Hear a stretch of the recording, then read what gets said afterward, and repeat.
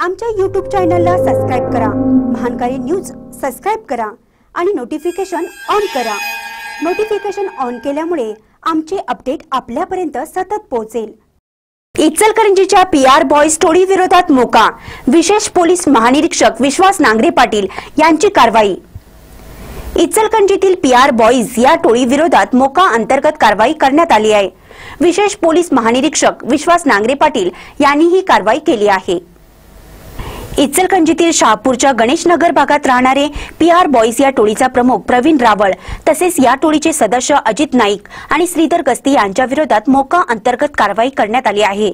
हे सर्व आरोपी हे शहापूर पोलीस ठाण्याच्या हद्दीतील आहेत. आतापर्यंत शहापूर पोलीस ठाण्याने ही तिसरी कारवाई केली आहे. या गुन्ह्यात तपास अधिकारी म्हणून करवीर विभागाचे उपविभागीय पोलीस अधिकारी सूरज गुरव यांची नियुक्ती करण्यात आली आहे. या प्रकरणी इचलकंजी विभागाने पोलीस उपअधीक्षक विनायक नरळे आणि शहापूर पोलीस ठाण्याचे सहाय्यक पोलीस निरीक्षक संजीव झाडे यांनी योग्य तपास करून या संदर्भातील माहिती संकलित करून वरिष्ठांना दिली होती. महानकारी न्यूजसाठी शहापूरहून विकास लवाटे.